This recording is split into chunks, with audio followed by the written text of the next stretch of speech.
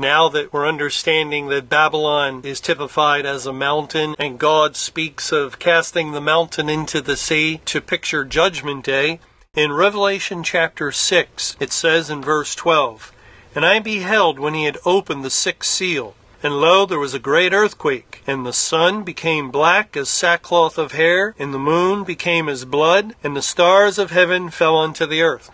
Now, as soon as we read that, we know because it's the Bible making identification. It's the Bible sort of waving a flag to us. You know this has to do immediately after the tribulation because we're supposed to compare scripture with scripture and we see Matthew 24:29 which we read earlier and other verses that the sun is darkened immediately after the tribulation that is judgment day. So we're reading of judgment day here in Revelation 6.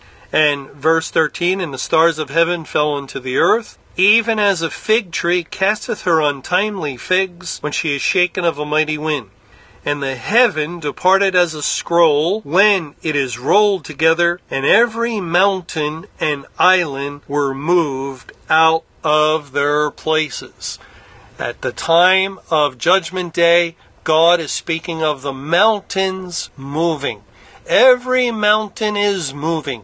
And yes, we know that Satan was down to his last head, representing his last kingdom or mountain, but in a real way, at the end of the Great Tribulation, Judgment Day, when Satan was judged, it was a judgment against his whole existence, against all of his periods of rule over the earth. All of his heads came under judgment and all the mountains, all the pictures of Satan's rule over the unsaved people, the earth throughout all history, really come into view as being under God's wrath. And so God speaks of every mountain were moved out of their places.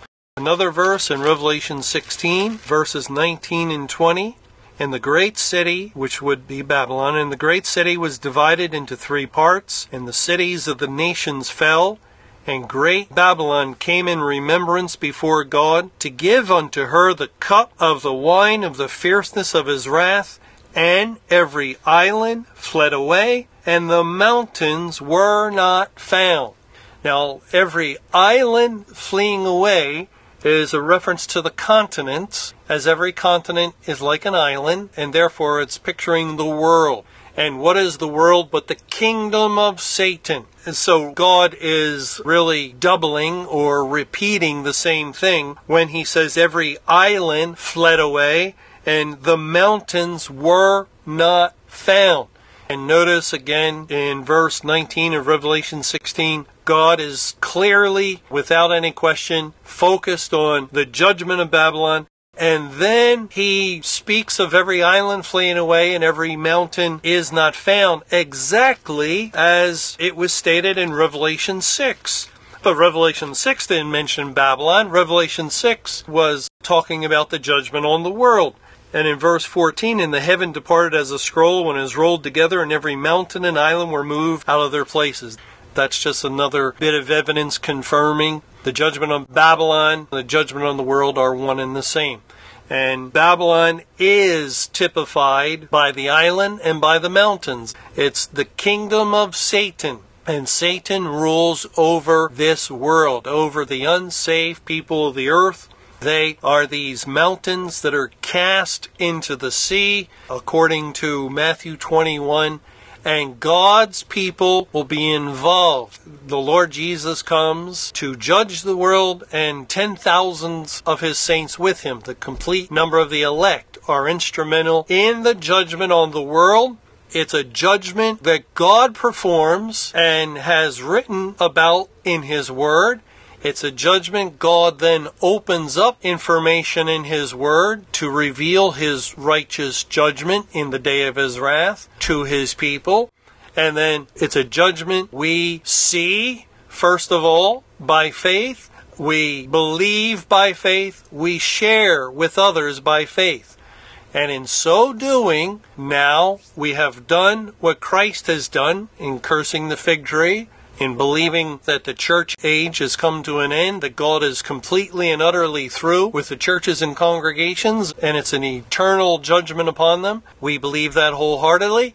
And now we believe equally wholeheartedly that God brought to pass Judgment Day, May 21, 2011. What did we say in the days leading up to that point, to that date? The Bible guarantees it. What an incredible statement of faith that is. What an incredible declaration of faith that is. And now, in these days after the tribulation, after researching and examining all the information that caused us to make that declaration in the first place, and we go back to the Bible, we review and check everything out, we search the scriptures to really see is it so? Were we wrong? Were we in error? And we settle upon this and we affirm this to be so that May 21, 2011 was Judgment Day. It was the day God shut the door of heaven. And we believe it, and therefore it is understood by faith. Now, faith is the substance of things hoped for, the evidence of things not seen. And that's exactly what a spiritual judgment is.